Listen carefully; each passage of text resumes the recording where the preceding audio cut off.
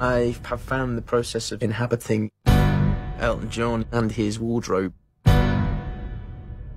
incredibly liberating.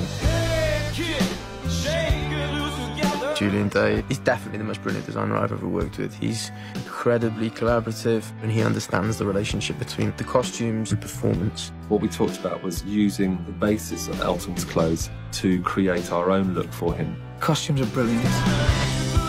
Can you even play the piano in those? It just brings the film to life. Maybe I should have tried to be more ordinary. You were never ordinary.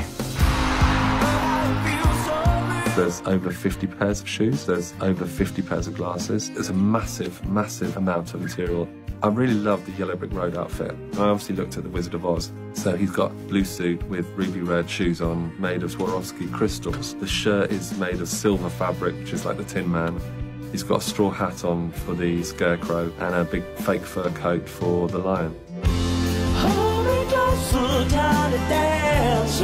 When I do a show, even now, 20 minutes before I go on, I choose my outfit. And until then, I don't become Elton. And then when I put my outfit on, I'm in the part.